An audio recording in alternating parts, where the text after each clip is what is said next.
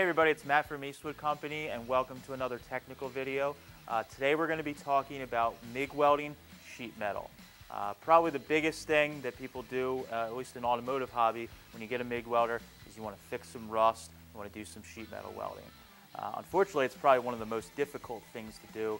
We see a lot of guys struggling with uh, blowing through panels and getting some uh, improper repairs done on their car that aren't structurally, structurally sound. So uh, I'm going to give you some tips and tricks, show you what it's supposed to look like, and uh, maybe give you some idea of some cool products that are going to help you uh, get your welds and your repairs looking a lot better. So uh, let's dive right in. So with uh, sheet metal welding, um, there is two wires that I would suggest to use. Um, the, uh, I would not suggest to use flux core wel welding or wire when doing sheet metal work. I know some, some people do it. Um, they get by, but it is not good.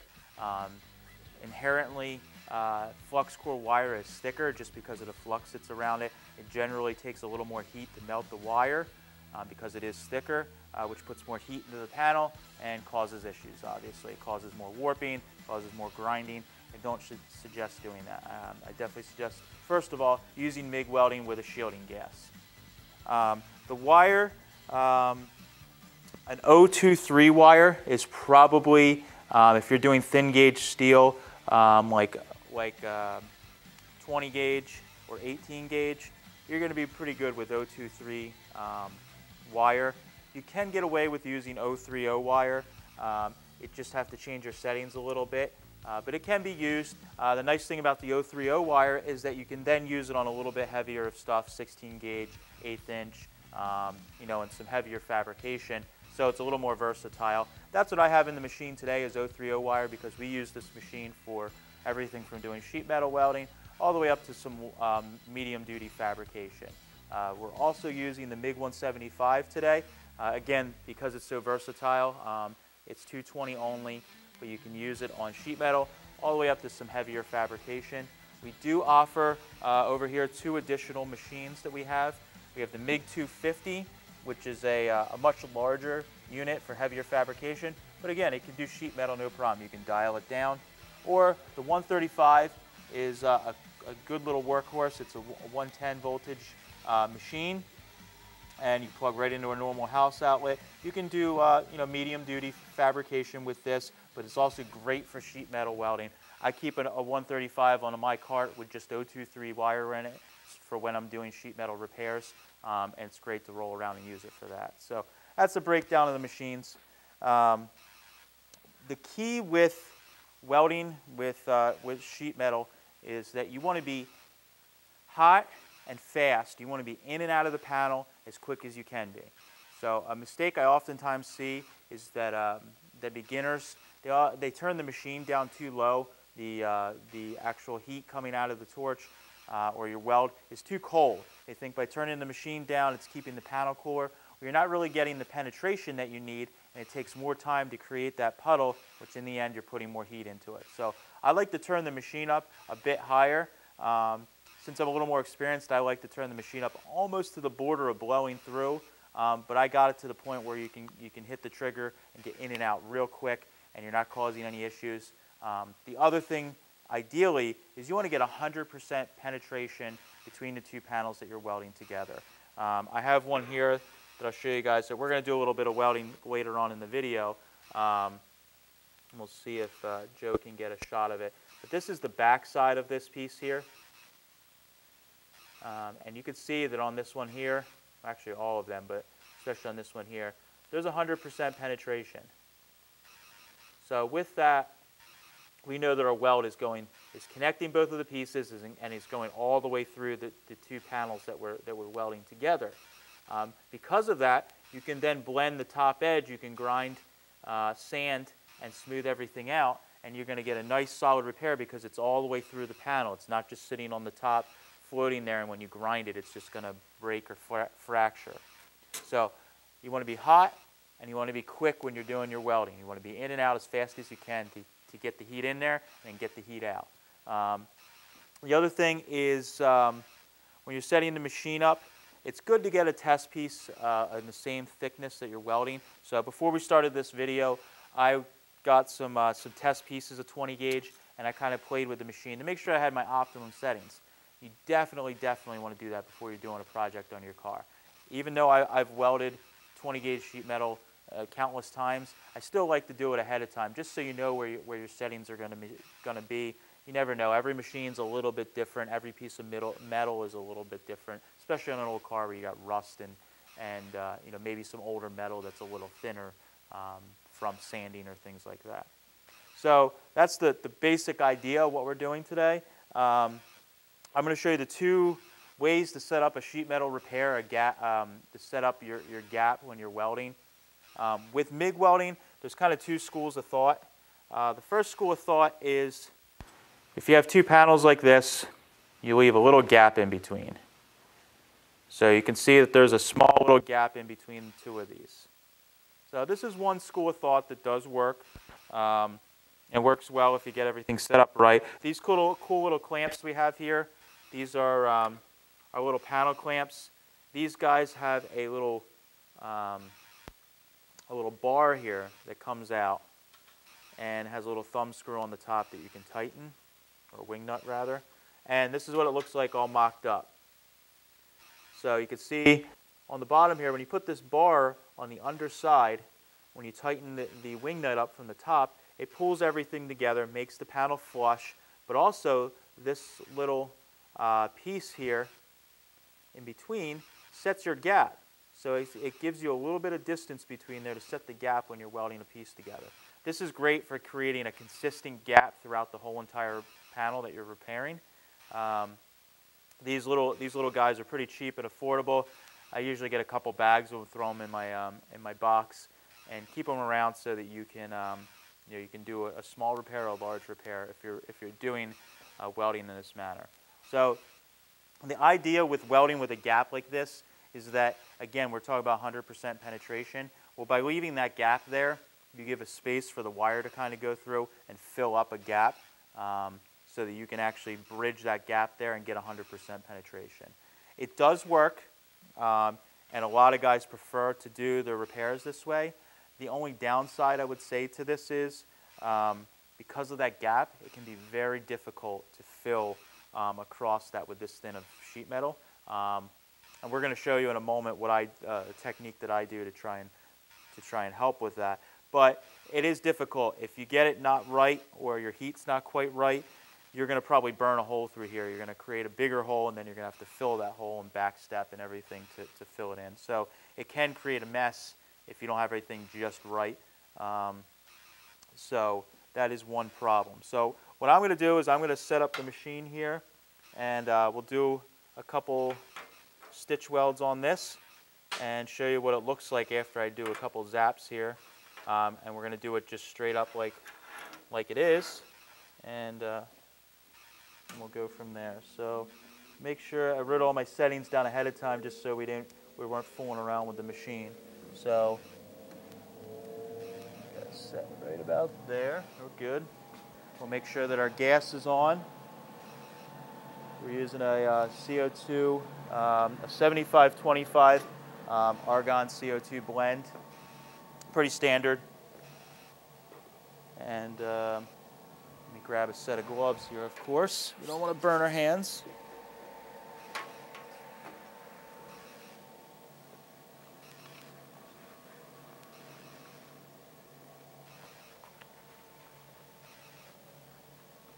All right, so we've got our machine set up.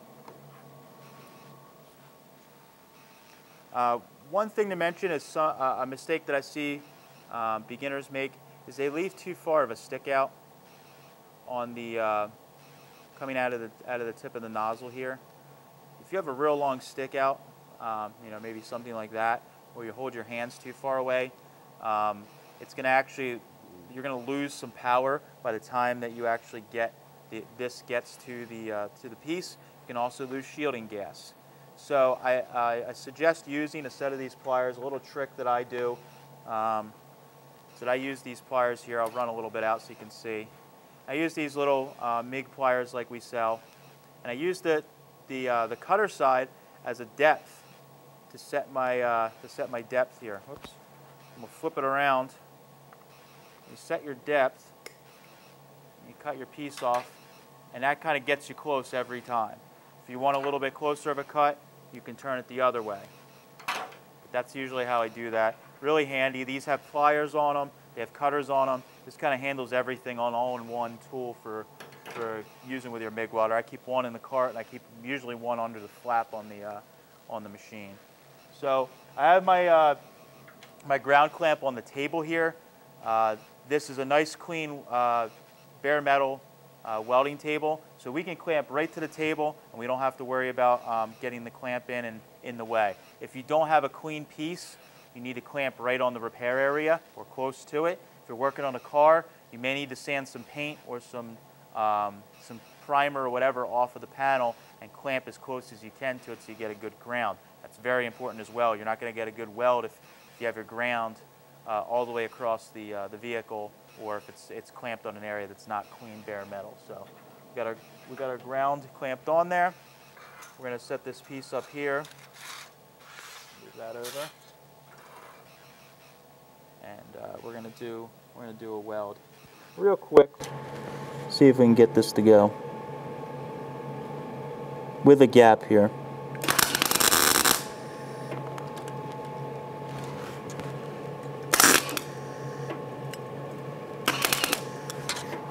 See, that's what happens, and, and the reason I don't really like the, the gap portion, or at least without using something to help. You can see when you set your weld there, it blows right through.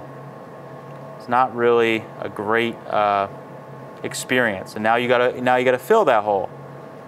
So what you really need to do is you need something to back that up. Now I can I can quick do a weld here and, and blend that in, and it'll be just fine. But it's going to be uh, more heat into the panel. To save yourself the hassle, um, what I like to do if, I'm if I have to weld with a gap like that or if I have to fill a gap with a MIG welder, is you can use these copper backers.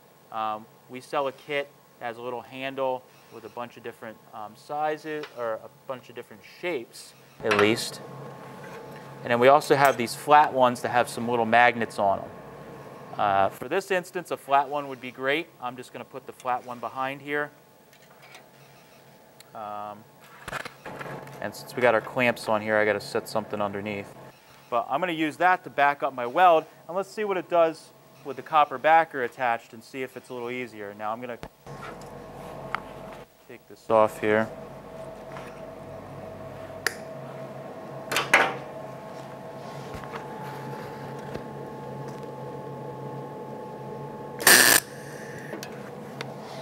Sounded a lot better, right? So that's, that's the difference between welding. That's the one without the backer. Just blew right through. And again, I, I could probably finagle it and get the thing to weld, you know, to get it to weld without the backer on there, but it, it's, it's pretty tricky. It takes, it takes just the right hand movement to get it, uh, to get it set right versus using the copper backer. Boom, I put it on there and I just did a quick weld. Now one thing you may have noticed, I don't know if it was easy to see when I did it, um, when I do a, when I do welding like this, I like to, it doesn't really matter how you do it, I usually will kind of sit, um, I'll kind of sit the edge of the nozzle down on the piece like that so I can get a visual, kind of visually see where I'm, where I'm welding. And then I just, right, right when I'm about to weld, I lift my hand up off of the piece and I hit the trigger while my torch is still turned like that. And then as, I, as soon as I see that puddle form, I turn my wrist up like this over to the other way or straight up and down. What that does is you're, you're kind of wicking the, the puddle from one side over to the other. Um, and it really helps kind of just fill the puddle out, get a nice flat weld. So that's one trick that you can do. Or if you're trying to fill a hole like that, you can kind of do the same thing where you can favor one side and then and then quickly move it over. Uh, you will also notice I was on the trigger really quick. There wasn't a long weld. It was just zap, in and out, done. Well, if you got the machine set correctly, it'll be nice and hot and you'll be in and out and we don't have uh, excessive heat into the workpiece here. Now the one thing you will see on the back side here, if you look, this is the back side. We got 100% penetration. it's completely filled up that, that, uh, that gap there. So that's what you want. Now you got 100% penetration. When you sand the top of this smooth, you're gonna have still have something bridging the gap there and it's still gonna be nice and strong. So that's without uh, or with a gap, that's one way to do it. Um, you just gotta make sure you set your gap like that. And again, I would highly suggest one of these copper backers. Uh, the other way is to do it like we showed in the beginning on the piece with no gap whatsoever. So this piece here, I've butted it together tightly. I've put some tack welds on it just to, to hold it together um, so we can, we can e easily show you how it's gonna, gonna weld. With this way, again, nothing wrong with this. It's just that you need to set the machine up so that it's a little hotter because you're actually you're melting between the two pieces to join them together, and you're almost you're almost melting that center area away. So with that, we're going to crank the machine up a little bit. Um, so we're going to crank it up basically a whole entire setting and one wire speed. Or um, oops, I'm sorry.